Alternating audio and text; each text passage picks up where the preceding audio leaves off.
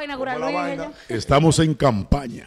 Y este enfoque, men, y este enfoque. Eso está bien, que ahora tú eres director. De cámara. pues no así de. Le vamos a demostrar al país, porque ese señor vino a Santiago a hacerle una encerrona a un candidato político. ¿Pero Le vamos a demostrar al país que Iván Ruiz es un, Un ruin, delincuente. un ruin. Delincuente de la comunicación. Un perversito. perverso. Perversito. Él no llega perverso, un Perversito. perversito. Iván Ruiz. Se me que trefe vino hoy a hacerle una encerrona, porque hasta en el día de hoy, en el día de hoy, yo no sé, mañana, pasado el día de las elecciones, en el día de hoy, los números no le dan a Luis. No le dan. Y No él, van a dar. y él, como es una bocina del PRM, del gobierno, arrancó para Santiago, dice que a una vaina de un monorriel que llegaron los, La- las cabinas. las cabinas, Las pero estamos a dos años de que terminen para poner las cabinas. Están haciendo hoyo en la carrera. Entonces él vino Justamente a le, eso. le preguntaba a un ingeniero de ahí y me dijo, no, como dos años, dos años y medio. Pero óyeme, Ajá. pero este Porque Estamos en viene, elecciones. pero este enano mental viene a Santiago a eso y amarra para hacerle una encerrona a Víctor Fadul porque él es especialista en eso. Él le quiso hacer esa encerrona a Johnny Ventura Lo recuerdo. en, en la- en las- en la- en el 2000, en el 20, Sí. cuando las elecciones municipales en la capital. Y Johnny Ventura no fue tampoco. Pero vamos a hacerle este historial, esta pequeña historia, de este vergante, de este delincuente de la comunicación, de Iván Ruiz. Vamos a hacer una secuencia. Vamos a ver este video cuando él quería que una muchacha que trabaja, ¿cómo se llama la vegana? Maciel. Maciel, él quería puyar con Maciel Ay, obligado. caramba. ¿Cómo que era, qué era lo que quería? Puyarla. Ay. Y entonces la tenía sediada en los camerinos, donde quiera. Maciel Taveras. Maciel. la actriz. sí, Oye, ella un día quería enviarle un saludo al novio en el programa. Y él fue y se le no. sentó al lado y la bloqueó. Y le, le hizo el lío de su vida. El de la vida de él, el lío de él. Porque es un Y la- enfermo. un enfermo. Un maniático, un enfermo. Y el- pero, pero si es maniático que él, de- él, él se deja a la esposa y, se, y, y es ahora de que el esposo de la secretaria. Cuando tú dejas a tu esposa que, que puyaba en la oficina. en la oficina, Ay. cuando tú dejas a tu esposa por la secretaria, ¿qué tú eres? Un, maniático. Un. Salía de su casa terminando de, de tener relaciones con la mujer para ir en la oficina a agarrar a la secretaria. Esa es la esposa de él ahora, la secretaria. Ay, mi madre. Vamos a ver esto de Maciel con él en el show del mediodía. Vamos a ver ese video, señor director. más, es más. Yo diría, yo diría que deberían tratar de coger rating con otra cosa, no con uno. Óyeme, óyeme bien, óyeme bien, óyeme bien, óyeme bien. Ya. Óyeme bien. Cierren eso. Óyeme, óyeme, tranquila. No necesitamos ningún recurso para conseguir rating. Pues entonces Estamos tratando de bajarlo un poquito. ¿Usted se adapta o se va? No, pero, pero espérate, Vamos a seguir espérate. con el programa. Eh, Espérate, Vamos, vamos. espérate. Iván, por favor, esas no son formas. Esta es la telerealidad. Desde ahorita está. Mira, yo las cosas las planteo país, claras. Iván, el Óyeme, país te está mirando. Me importa un no- coño el país. No es el estilo. Óyeme bien, las cosas se hacen bien o no se hacen. Pero tú no hablabas Ese es Iván así Ruiz. antes. Bien, vamos Tú a no eso. hablabas así Vamos a antes. Y yo me voy a ir cuando el tiempo llegue. Pero bueno, este productor está. Ella ¿Ustedes oyeron fue, ese se mequetrefe? Sí. ¿Tú te adaptas o te vas? ¿Tú sabes lo que es adaptarse? Ay, si fuera a mí. ¿Tú, tú, tú sabes lo que es adaptarse, ¿no verdad? Tú te, a- tú te Mira, adaptas. mira, mira la adaptación. Tú te adaptas. Te o adapta, vas. Te adapta. Sí. Y dijo, me, importa un coño el país. Ay, que fuera a mí. Ese es el baboso que después tú lo ves estaba acosando. hablando de cosas. Roberto estaba acosando a esa muchacha. A Maciel Taveras. Ay, porque ella se fue. Él la estaba acosando. Pero que ella se fue por eso. En los camerinos la tenía cansada. Eh. Ella tenía que encerrarse en los camerinos. Óyelo. Llegaba temprano y tenía que encerrarse. Sí. Dice, dice Ay, él, en el- al aire, en un programa de televisión al aire, usted se adapta o se va.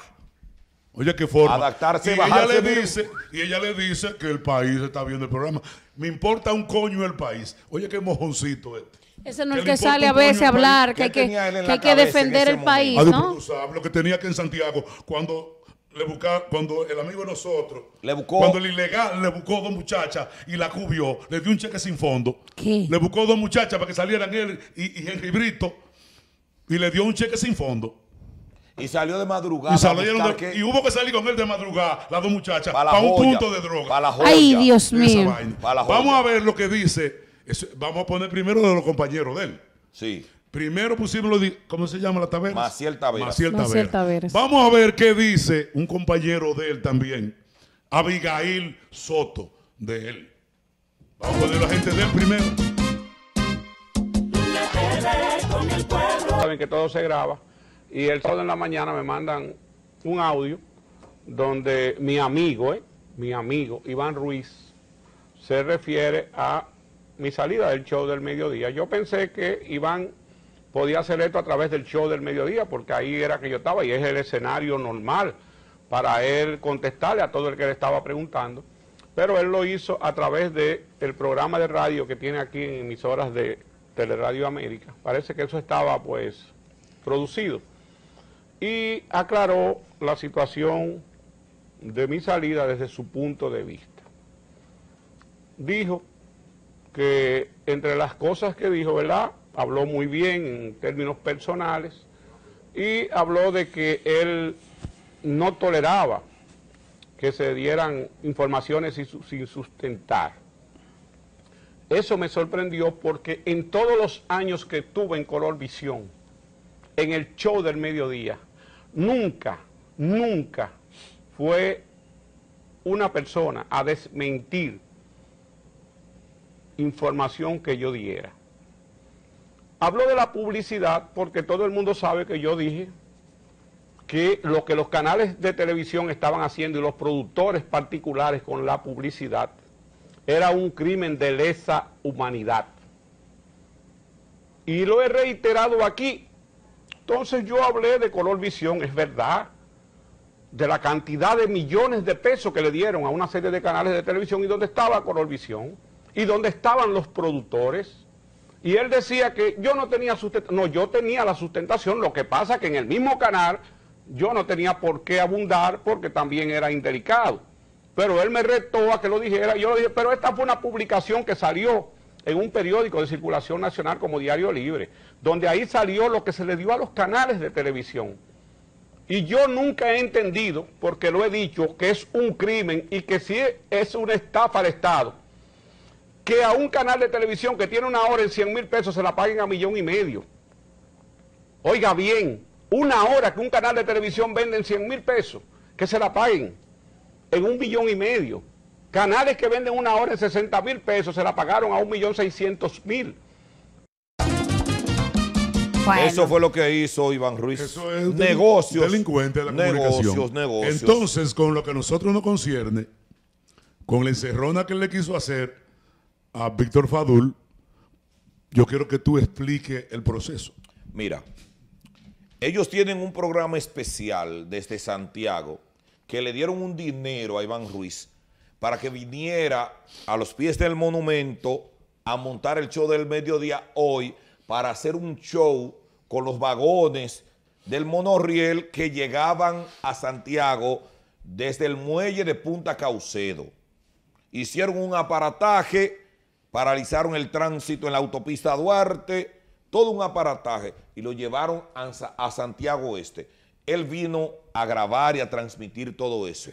Se inventó un programa inteligente, mm, mm, óyeme, Maquiavélico, maquiavélico. maquiavélico, dice, vamos a inventar un programa rápido, una producción rápida, con Vitico Fadul, para que venga a hablar sobre su candidatura, pero le tenía a Ulises Rodríguez, que es un empleado del gobierno, al igual que Al él. igual que él. Porque él es un empleado del Claro gobierno. sí. Él, él es el Para director. hacerle una encerrona. Él, él es el director de Radio Televisión Dominicana, Así es un es. empleado del gobierno, quiere hacerle una encerrona a Vitico. Vitico lo llama temprano y le dice, Iván, hoy yo tengo una reunión con el presidente del partido, con Danilo Medina y todas las autoridades del PLD, incluyendo al candidato presidencial Abel Martínez.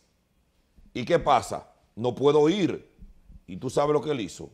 Buscó una foto y dijo que Vitico estaba en un almuerzo con Danilo. No en una reunión política de estrategia, ni de Pero nada que de él le dijo, pero que él le dijo que puedo no podía ir. no Pero aunque ir. fuese, aunque fuese un té, escúchame bien, un té. Sí. Es de la candidatura que estamos hablando y él está teniendo las figuras más importantes de su partido dándole apoyo. Claro. O sea, no aparte tiene nada que ver que, fuese aparte- un té que pero estuvieran aparte tomándose. de eso es que le ha dicho que él no puede ir y hay que ir obligado al programa de él. Le montó, ¿Y quién es él? Le montó, hermano mío, un discurso. Y le dijo irresponsable irresponsable y de todo. Pero tú sabes con quién hay.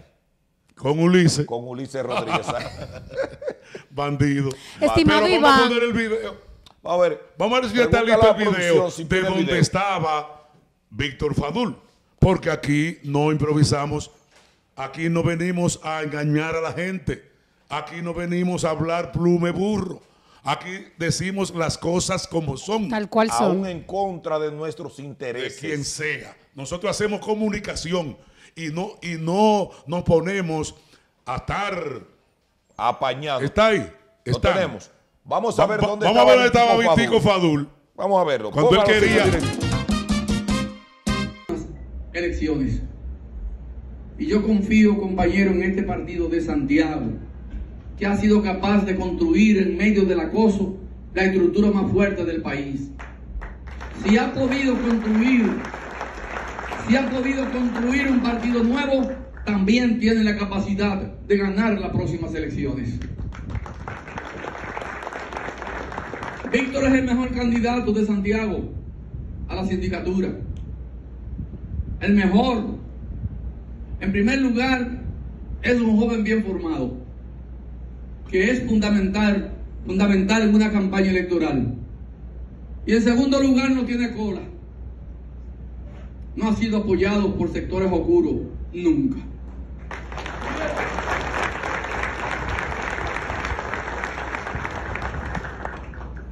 Entonces, si nosotros ganamos con Víctor, Vio, vieron, amigos televidentes, dónde estaba Víctor Fadul, donde le dijo al coprófago No, de. Iván Ruiz. Ah, pues le digo la palabra como es. Por eso es que tú estás muy fino. No te entiendo. Cuando yo le digo al come mierda, entonces tú dices que, lo, que Es no que lo digas así. hoy no estoy en esa. Ah, ok. Hoy no estoy en Entonces esa. miraron dónde estaba Vitico. Él quería, ese estúpido, él quería que Vitico saliera corriendo de la capital en un encuentro al más alto nivel de los dirigentes del PLD para venir a, A una a, encerrona. la, a la vaina de la A una encerrona. Con Ulises ahí en el parqueo, con un cuestionario. Porque él primero le dijo que, que lo invitó a una entrevista y después era un careo. Un, caro- un debate. Era un debate después. Él quería hacer un debate sin avisarle. Y el otro, y el candidato de él, Ulises Rodríguez, con el cuestionario de la vaina. Tira para adelante. Tira para adelante. Estimado Iván, ¿Qué, delincu qué Iván, Ella lo va a llevar suave. mire, no importa que usted arme no uno, mil debates. No importa que usted le dé el chivo a Ulises. Yo estoy segura que ni con el chivo lo va a hacer bien. ¿Y cómo él no lo va a hacer bien con el chivo? Y como Santiago es un pueblo privón, y como Santiago busca gente que lo represente de verdad, ustedes pueden gastar todo lo que gasten. Es más, usted puede hacer un programa diario aquí a favor de Ulises Rodríguez, y como quiera, no va para ningún lado, porque Ulises no va a ganar. Ustedes quieren ver si él vino a Santiago a armar esa vaina. Porque es un buscavida, ese tipo, Me lo- donde él, me lo dices. donde él ve, eh, donde él huele que se puede gan- ganar un dinerito. pero, la secretaria, pero- pero no haga pero así, oye, que se oye, confunde. pero oye, Se confunde. pero óyeme, óyeme, De óyeme. confúndenos que es así. Óiganme, señores. La secretaria de él, ahora que es su, Su esposa, su mujer, me tenía hasta la coronilla ¿En qué? que yo le, que yo le consiguiera 200 mil pesos ¿Para qué? Para hacer un énfasis a Julio César Valentín. ¿Cómo? Quería 200 Ah, mil, pues yo no sabía ese dato. 200 mil, que me, que me desmienta. Un programa especial de eso que él hace. De lo, el, el énfasis, el programa de los sábados. Pagan ahí por eso. Me llamó 500 Y mil veces. Y yo para quitármela de encima, le mandé el teléfono De Julio César. y me llamó Julio César. Hermano mío, Suelta eso. hermano mío, ¿qué es lo que te ha hecho? Suelta esa. 200 mil quería. Por un énfasis. Y puso a la secretaria, no sé si la secretaria, porque ahora di que es la esposa. Lo mismo. Hasta aquí me puso llamándome. Yo no me, yo no me involucro en esa vaina. Desde que ese tipo me habló de dinero, raudo y veloz cual buitre en la llanura. yo no tengo cola. Borrado con cica de gato. Yo no tengo cola. En esa vaina comunicación, nadie se atreve a señalarme a mí. Y que en de, nada. de búsqueda. Está loco. Búsqueda. Yo me gano mi dinero honesta y honradamente. 200 mil quería para hacerle un énfasis en la pasada campaña a Julio César Valentín y me hartó la secretaria. Y yo le pasé el teléfono de Valentín. Y esa mierda es No salió el de Iván Valentín. Ruiz. No salió el de Valentín nunca. Ay, Valentín iba a dar Valentín, 200. Yo- 200. Ay, qué programa el diablo es este. Dice que 200 Una vaina los sábados. Tú estás Ay, ya lo loco. Tú estás loco. Ay, espérate, escúcheme, escúcheme, escúcheme. ¿Qué pasó? ¿Quieren ver si era una encerrona contra, Contra Víctor Víctor. Fadul? Que yo espero que él vaya todos los viernes. Hoy era viernes. Sí. Que vaya todos los viernes a diferentes ciudades, pueblos, a diferentes ciudades. A ¿Y, y a diferentes- cómo va a ir si en los que otros pueblos no, ta- no, no están haciendo Que nada? vaya a La Vega a hacer un debate o una entrevista, que vaya a Moca, que vaya a Higüey, que vaya a San Juan, que vaya a Valverde, A Dajabón. que vaya a Dajabón, no, a Santiago. Porque están feos aquí. Porque tan feo. Porque el objetivo es que gane Ulises para dar el metamensaje de que vencieron a Abel. Que ya le dieron el primer fundazo a Abel Martínez. Eso es Y verdad. entonces ese objetivo es entre ceja y ceja que lo tienen. Hasta entonces él bajó a eso. Mandaron los furgones Yo- eso, que, que lo van a, a poner dentro de dos años. Y cuidado. Y cuidado. Es que van a poner eso. Si esos Ya, furgones. ahorita se óyeme, maltratan con el si sol. el monorriel va a comenzar a funcionar dentro de más de dos años. ¿Para qué los furgones? ¿Para qué el show que hicieron hoy? ¿Para qué? Llegaron los furgones y Dos años y medio. Y todavía en la carrera- A guardarlo ahí. Y todavía, polvo. todavía en la carrera están haciendo columnas. Adiós, pero yo vivo en la carrera. Todavía. Yo, yo vivo. Vivimos. Pero yo, mira, este canal está en la carrera y yo vivo ahí en la carrera. Yo Y yo vivo diario. ahí entre la Sánchez y Mella, al lado del Trapiche Liquor Store vivo yo. Ah, pues tú tienes la bebida cuarta. Pero yo le- estoy, estoy harto de decírtelo. Vamos a la estoy harto de decírtelo. Carlito, llévatelo. Volvemos ahora. Volvemos.